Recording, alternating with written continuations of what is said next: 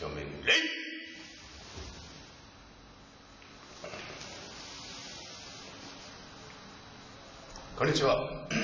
Я родился 19 июня 1947 года в городе Танегасима, который находится в префектуре Кагасима.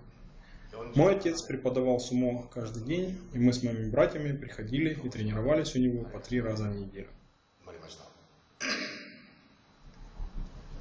Когда я учился в средней школе, я начал заниматься дзюдо. Я занимался этим видом единоборств с 13 до 32 лет. В 17 лет я учился в муниципальной школе, которая относилась к полиции.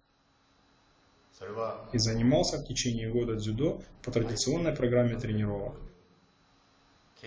А после выбрал путь учителя дзюдо как учебной дисциплины. Каждый день я тренировался в третьем мобильном подразделении полиции, и преподавание дзюдо стало на тот момент моей работой. Я остро ощущал разницу между будо и спортом. Когда я приехал в Германию, я хотел стать мастером будо, а не спортсменом. А потом во мне начали происходить изменения относительно моих планов. Я начал думать о том, чтобы стать учителем по айкидо, а не по дзюдо. В настоящее время я живу в Мюнхене. И часто мы с друзьями собираемся в дадзю. В этом дадзю я руковожу группами айкидо. И также встал на собственный путь просветления. Это знание того, что в рамках серединного пути в айкидо нет победы или поражения, несмотря на то, что победа или поражение зависит от того, как развито чувство айки. В 1983 году, когда я приехал из Японии в Германию, я обучался около года у сенсея Шимизу Кенджи, как личный ученик в школе айкидо Тендарю в Мюнхене, которую он сейчас и возглавляет. Я до сих пор поддерживаю хорошие отношения с сенсеем Шимизу, и он всегда готов предоставить свою помощь в поисках совершенствования на пути воина, я обратился к своему учителю по дзюдо в токийской полиции, и он порекомендовал мне начать заниматься в школе айкидо Йошинкан. Второй руководитель данной школы, Кьюичи Иноя, рекомендовал меня в личные ученики главе и основателю этой школы Годзе Шиода. И он обучал меня в течение года и трех месяцев как личного ученика. Сейчас я руководитель Айкидо Юшинкан Германии и курирую такие страны, как Италия, Польша, Швейцария, Украина. Вот вкратце мой рассказ о себе.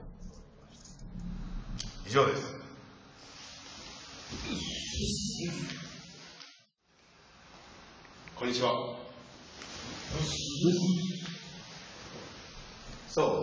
Сейчас я хочу рассказать о своем личном опыте и обстоятельствах, в которых происходило обучение дзюдо. Кроме того, я расскажу также и о личном опыте обучения айкидо. С 18 лет я избрал путь работы в полиции. В течение года я принимал участие в деятельности органов полиции в качестве инструктора по дзюдо. И продвигаясь по службе, я был назначен в один из районов Токио, в место, в котором было большое количество группировок якудзы. Я был пылким офицером полиции с юношеским запалом и чувствовал острую неприязнь к якудзе. И как-то после занятий мы с моим товарищем зашли посидеть в баре. Немного выпили. На обратном пути мы наткнулись на якудзу. Они нас окружили. Дело дошло до драки. На меня набросились четыре человека, на товарища два. Мы их побили, но один противник убежал и вернулся с катаны. Увидев, что он может просто порезать или убить нас, у меня похолодело все внутри. В этот момент перед моими глазами встали три картинки. Первая. Я в военном госпитале. Вторая. Это реакция моих родителей. Третья. Это газетная статья о том, что я пропал бесследно. Мой товарищ был не в состоянии продолжать драку, и я понял, что пора бежать. И это дало возможность конфликту гармонично разрешиться. Все сохранили свое лицо. Вот такой мне был преподнесен опыт. Еще одна история из моего жизненного опыта. Для тренировки чувства тайминга каждый из личных учеников старался первым открыть дверь в дадзё для мастера Шиоды – я, как ни старался, не успевал открыть ему дверь первым. Я никак не мог понять почему. А потом я заметил, что сначала появлялся дым в окне, а после этого заходил Годзе Шиода. И, едва заметив дым в окне, выходящем в коридор, я быстро поднялся и первым открыл дверь для учителя Годзе Шиода, опередив всех остальных учидеша.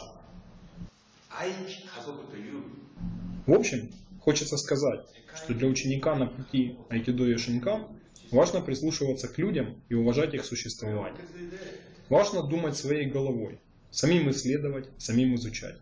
Это самое главное, самое основное в Айкидо и Шинкан. А еще важным моментом является постоянное желание обучаться.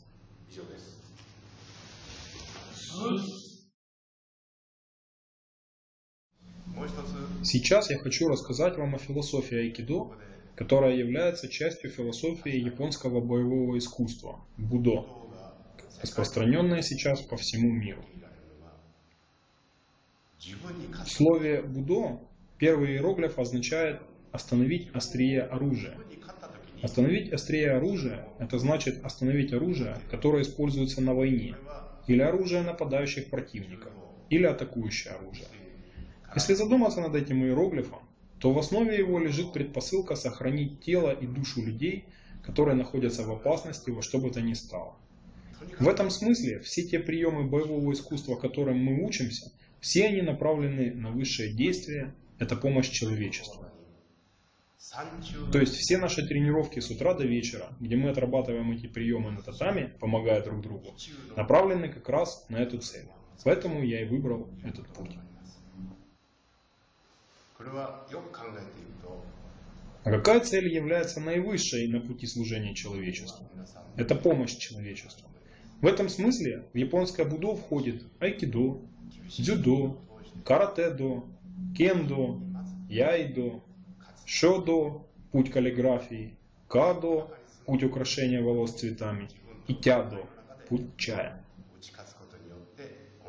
Когда я переехал в Германию в 31 год, я выбрал этот путь и встречаю разных людей, которые занимаются будо, в частности айкидо.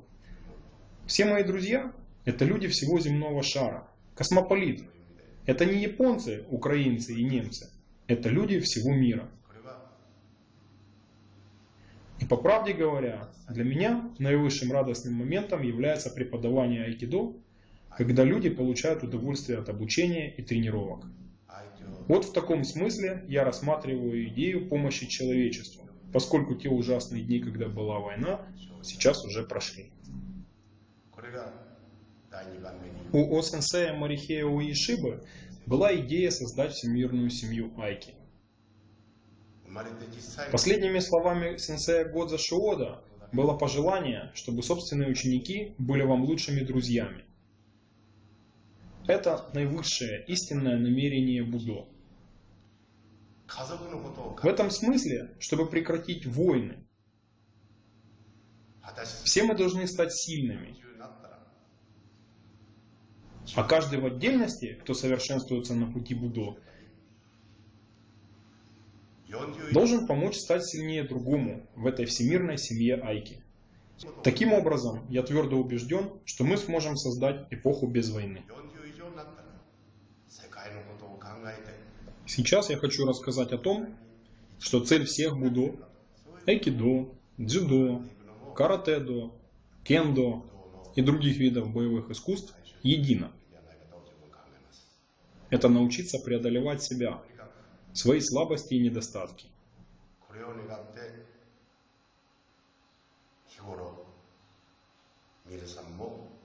Естественно, преодолевая себя, человек уже выигрывает.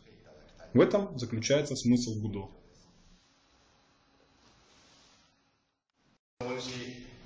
Старая пословица говорит о том, что поиграть в группе из трех человек легко, а одному сложно. Если хорошо вдуматься в эту поговорку, то в ней речь идет о проигрыше самому себе. Думаю, что у каждого есть такой личный опыт. Если вы сможете победить слабость внутри, то с этими мыслями или чувствами вы сможете победить и противника. То же самое касается и поражения. У меня тоже пару раз был опыт, когда проиграв себе, я проигрывал противнику. Очень важно испытывать противнику чувство уважения и даже любви. Это второй основополагающий пункт Будо, который японцы хранят в памяти. Я думаю, что целью каждого человека, который изучает Будо, является изучение того, что есть лучшим в каждый конкретный период жизни – в первые годы жизни это изучение всего вокруг и собственное обучение. В 20 лет это изучение того, что значит быть по-настоящему взрослым и начать задумываться над тем, чтобы создать семью. В 30 лет задуматься о том, как лучше воспитывать собственных детей. После 40 задуматься о мировых вопросах и о том, что можешь сам сделать для мира.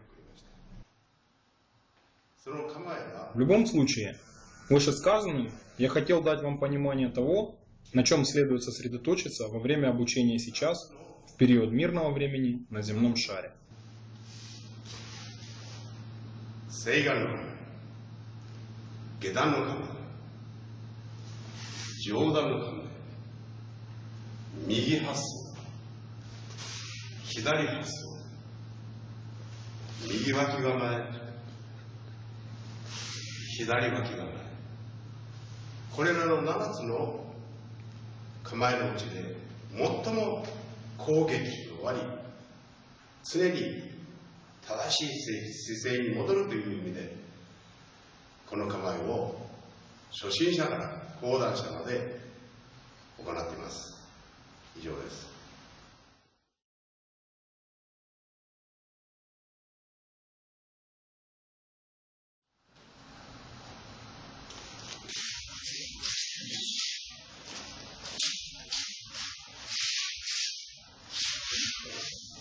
It's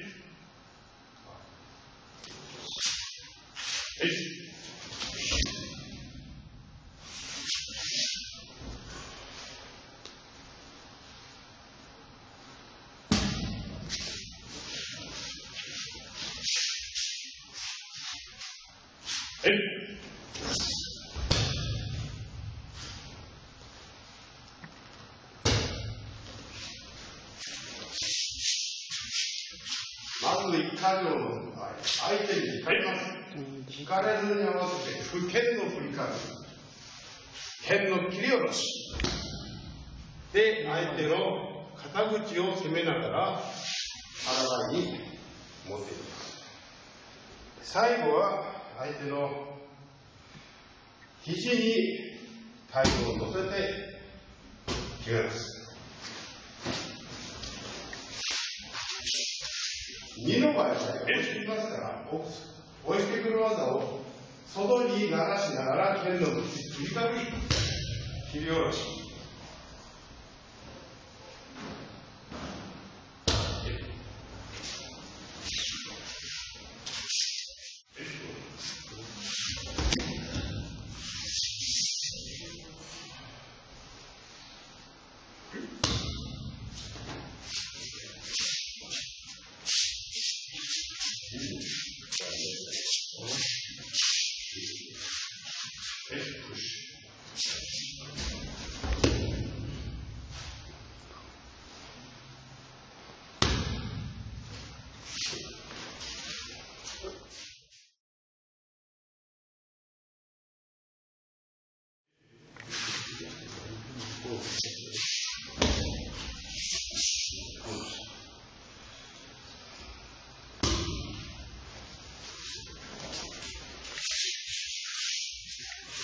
It's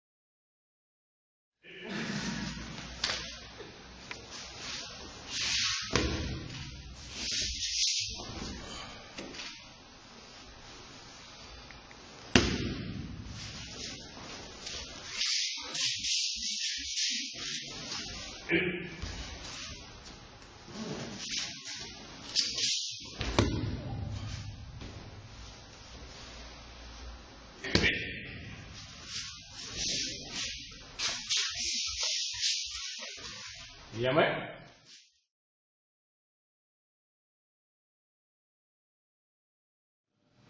え？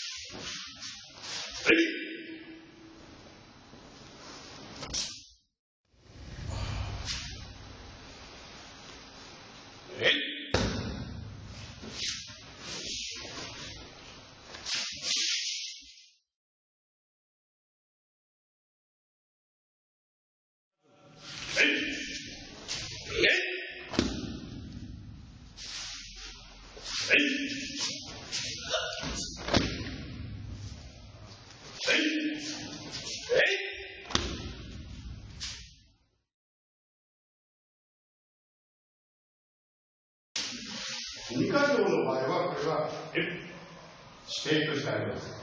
引かれるの合わせて、天の振りかぶり、切り下ろし、もう一度切り下ろし、左、右と攻めて、相手の腕を自分の腕に平行に持っていき、相手の腕を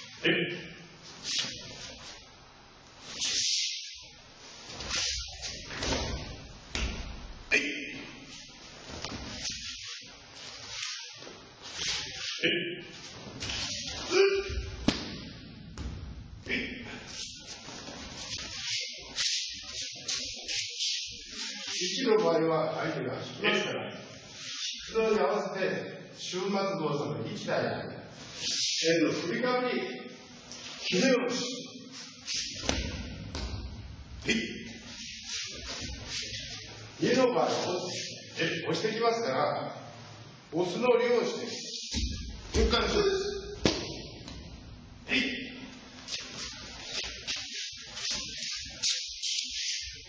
ここで大事なのは、相手の押しのプッシュ、流す、振りかぶる、切り下ろす。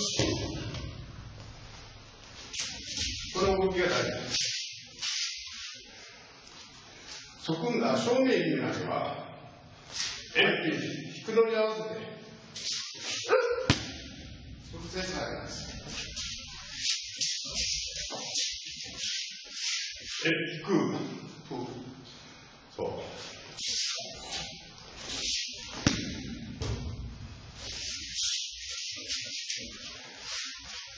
2番押してきます。え押す。押す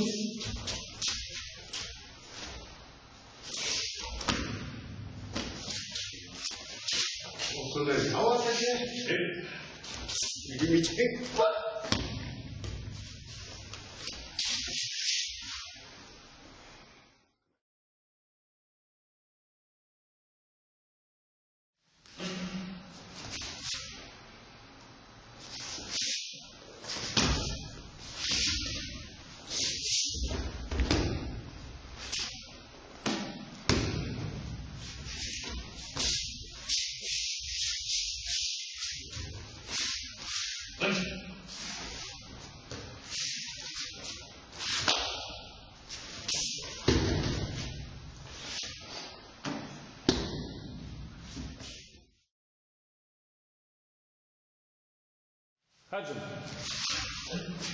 Yeah.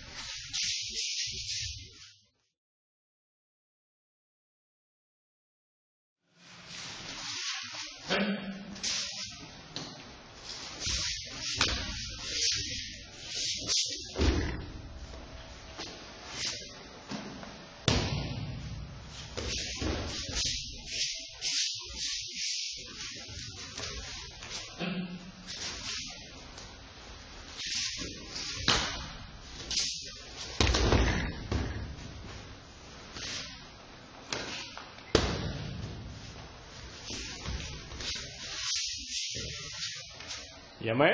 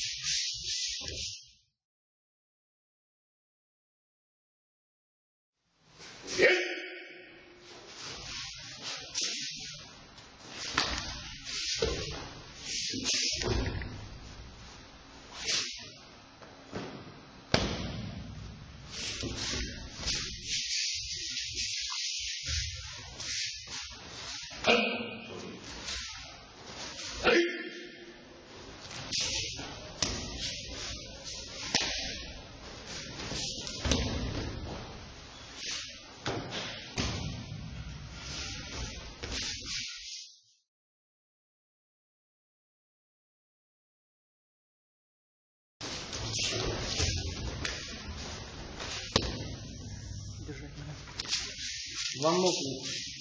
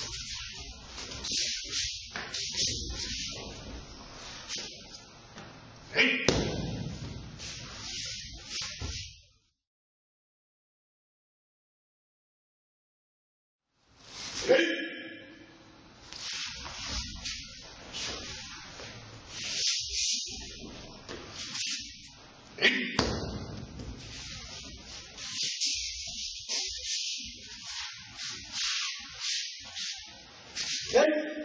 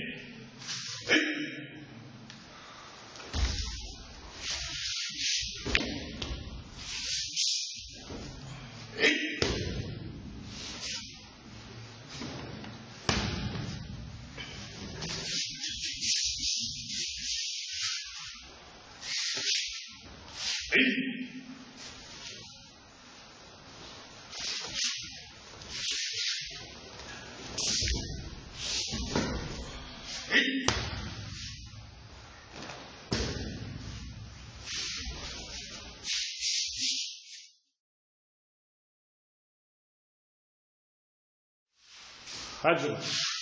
Ei! Ei!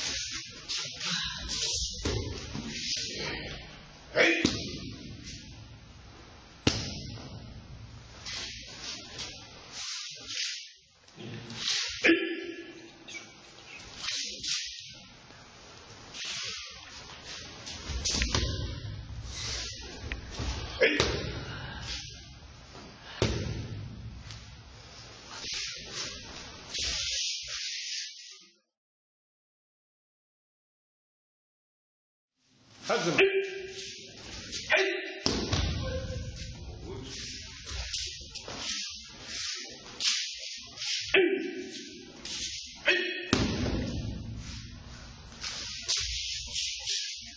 はい。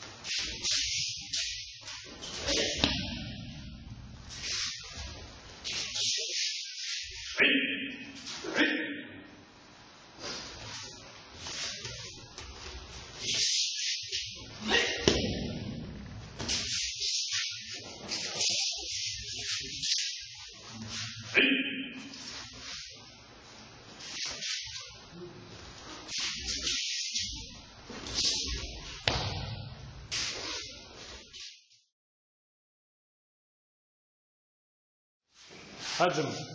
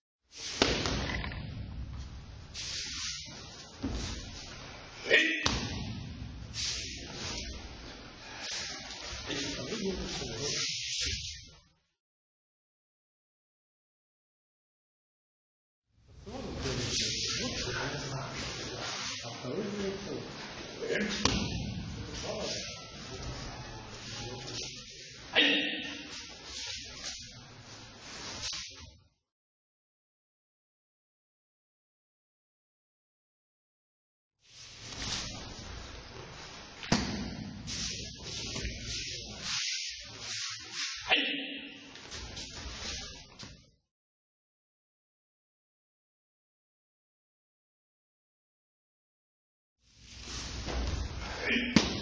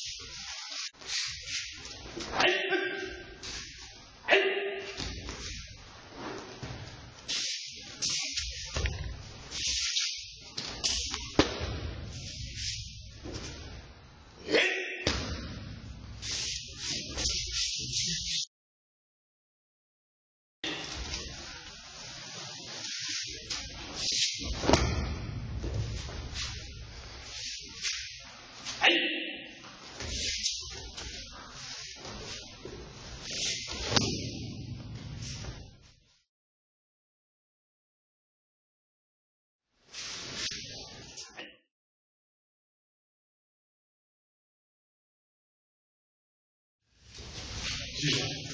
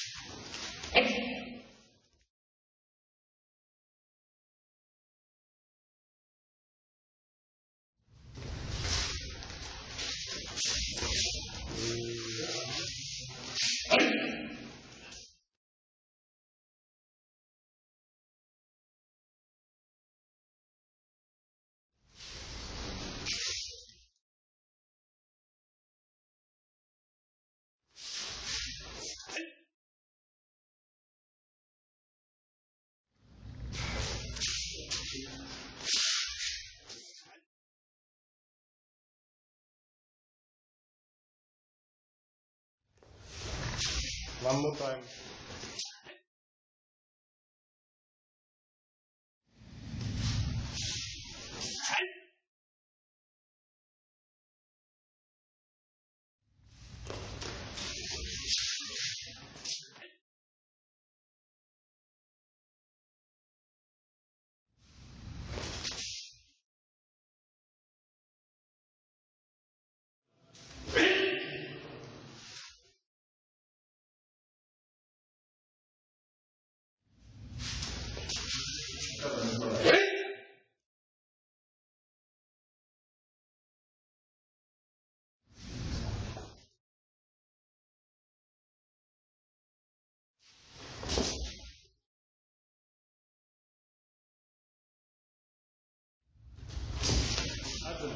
right?